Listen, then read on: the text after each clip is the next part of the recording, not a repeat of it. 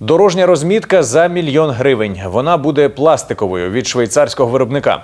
Нанесуть її від річпорту до Мерефу Херсонського мосту. Усього протяжність ділянки 21 кілометр. Експериментальна розмітка в сім разів дорожча за звичайну. Чиновники запевняють, полімерне маркування прослужить довше. Роботи почнуться з наступного тижня. Виконають їх чернігівські підрядники.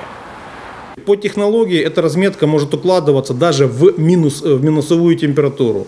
Тем более основание асфальта будет подрядными организациями подготавливаться. Если э, разметка это действительно подтвердит все заявленные качества, то в следующем году мы будем переходить исключительно к нанесению полимерной разметки, а разметку краской, то есть потихоньку будем сходить на нет.